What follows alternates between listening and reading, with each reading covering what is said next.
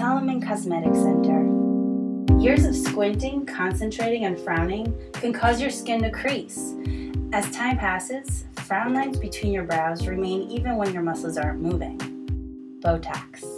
An FDA non surgical treatment that is injected into your muscle helps temporarily improve frown lines between your brows.